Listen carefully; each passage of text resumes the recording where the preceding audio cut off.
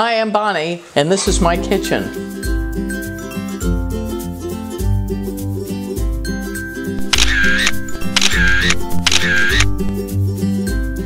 Today we're making traditional southern deviled eggs.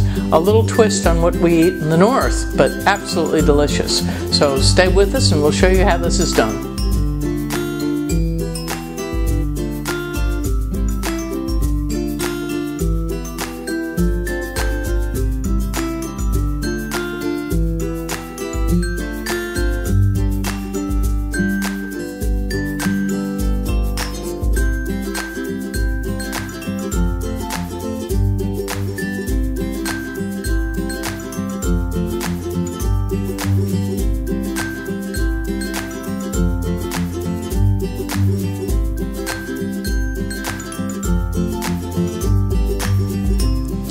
This is a recipe that came to us when we were in Atlanta.